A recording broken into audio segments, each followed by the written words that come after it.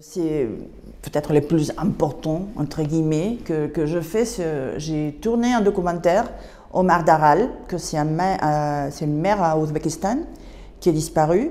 Et c'est un documentaire qui, montre vraiment qu'est-ce, que, qu'est-ce qui va se passer si, si on ne fait pas quelque chose. A touché beaucoup, c'est quelque chose qu'on a montré dans les écoles, dans les universités et par tout le monde. Et peut-être c'est mon geste euh, les plus relevant, disons.